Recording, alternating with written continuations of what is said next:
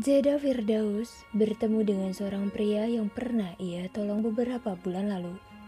Pria yang bernama Gabriel Emerson itu mengaku sedang berlibur di desa Firda. Kejadian demi kejadian membuat mereka sering bertemu dan menjadi dekat hingga keduanya harus berpisah dikarenakan Gabriel yang harus kembali ke kota dan Firda melanjutkan pendidikannya ke pesantren. Beberapa bulan kemudian, Firda dan Gabriel kembali dipertemukan di Jakarta saat Firda datang ke sana untuk menghadiri pernikahan kakak sepupunya. Namun, di pertemuan mereka itu terjadi suatu hal yang membuat Firda harus terikat pernikahan dengan Gabriel yang sebenarnya adalah seorang Don Mafia. Bagaimanakah kisah selanjutnya? Yuk disimak di audiobook keluaran Audiotune dengan pengisi suara Val. Novel yang berjudul Lentera Don Gabriel Emerson. Buah karya Skysal.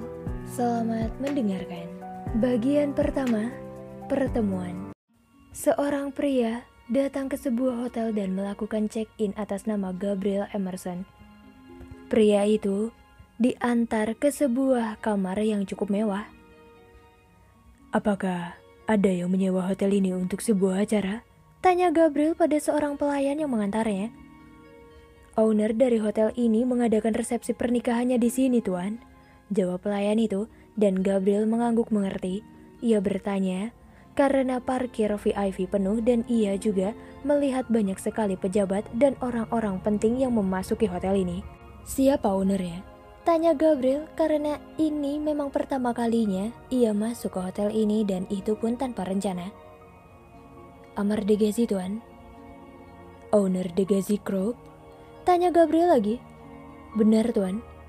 Kemudian Gabriel memerintahkan pelayan itu untuk meninggalkannya sementara Gabriel langsung bergegas ke kamar mandi.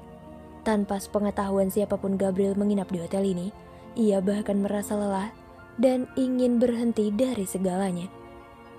Gabriel Emerson, pria berusia 28 tahun itu tak memiliki pilihan dalam hidupnya karena sejak ia lahir, ayahnya telah memutuskan segalanya untuk Gabriel. Dari di mana ia akan tumbuh, akan jadi apa, dan lain sebagainya.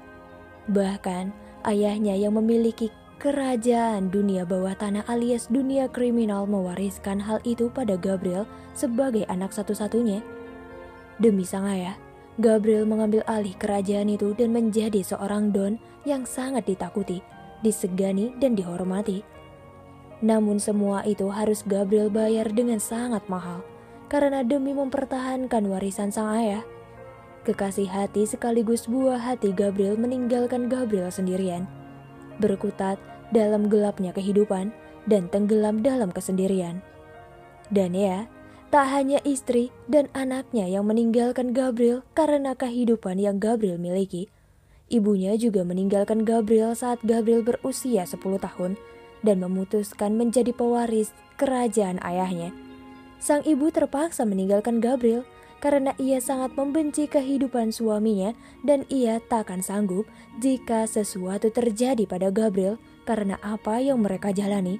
Karena itulah ia pergi, setidaknya Seandainya putranya meninggal karena ditusuk berkali-kali atau dirundung dengan peluru, ia tak perlu melihatnya.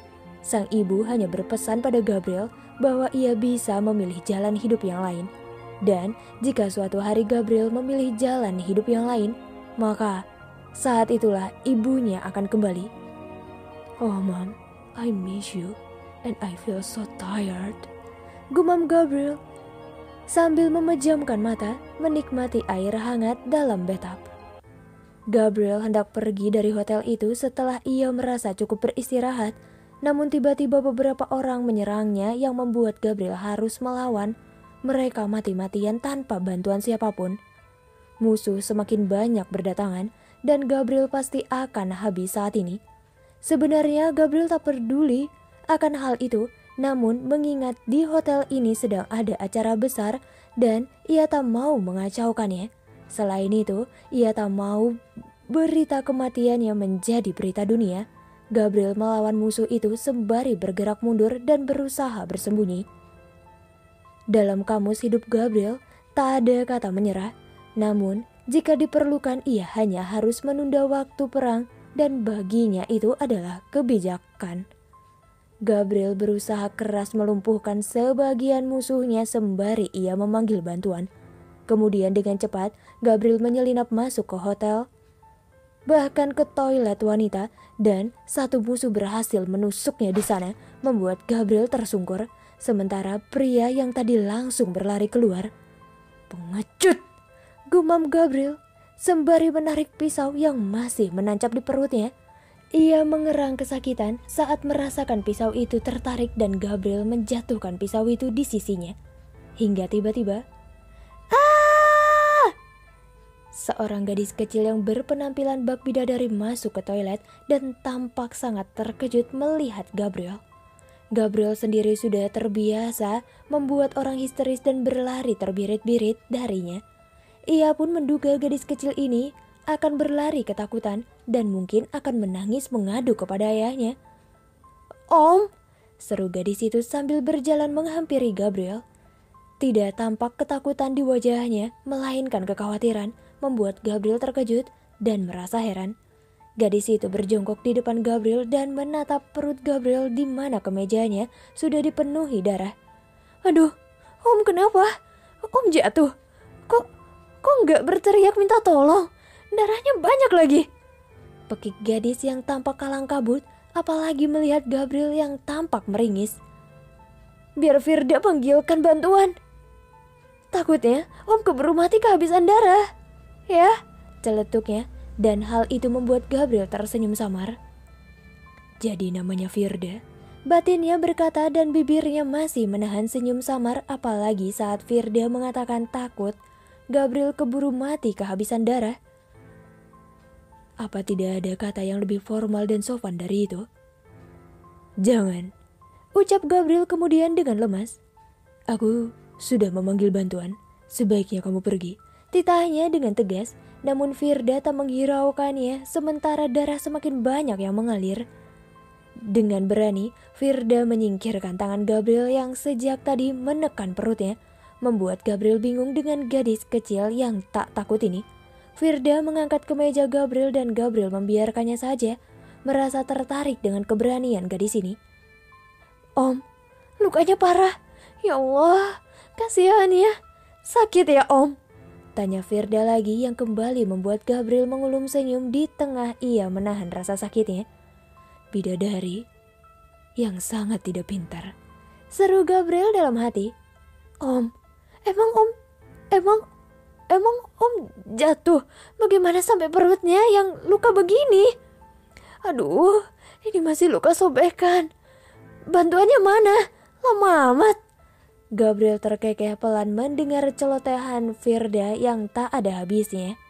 Dan ia juga menanyakan bagaimana bisa gadis kecil ini mengatakan bagaimana bisa seseorang jatuh di kamar mandi dan mendapat luka sobekan di perutnya. Karena orang terbodoh di dunia pun tak akan berpikir luka itu karena jatuh di toilet.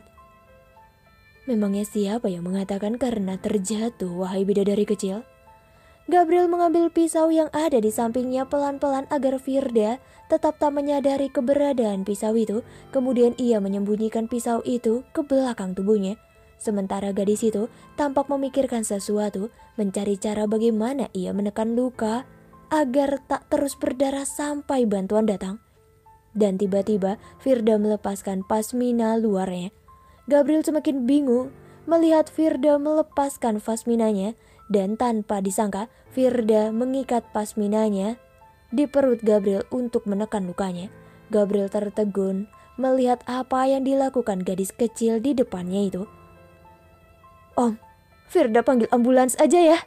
Luka om semakin parah tuh ucap Firda, dan ia melihat kedua tangannya yang juga berlumuran darah pria asing ini.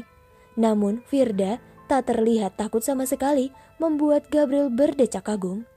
Dan tak lama kemudian beberapa orang pria bertubuh besar datang dan mendorong bahkan menodongkan pistol pada Firda yang masih tak menyadari kedatangan mereka. Namun Gabriel memberikan isyarat untuk menurunkan senjata mereka. Mereka pun menurunkan senjatanya. Bantuan sudah datang. Gabriel memberi isyarat pada Firda dan Firda menoleh. Om, lama banget sih datangnya. Tegur Firda dengan sedikit membentak pada beberapa pria itu dan sontak mereka kaget karena dimarahi gadis kecil. Bahkan Gabriel yang melihat itu juga terkejut. Dia hampir mati kehabisan darah tahu. Lanjutnya, masih dengan nada sewot seperti ibu-ibu yang memarahi anaknya. Tidak apa-apa, terima kasih bantuannya. Ucap Gabriel Kemudian beberapa pria bertubuh besar itu pun segera membawa Gabriel pergi dari sana. Kalau kamu mau dengar audiobook lebih banyak dan gratis, segera download AudioTune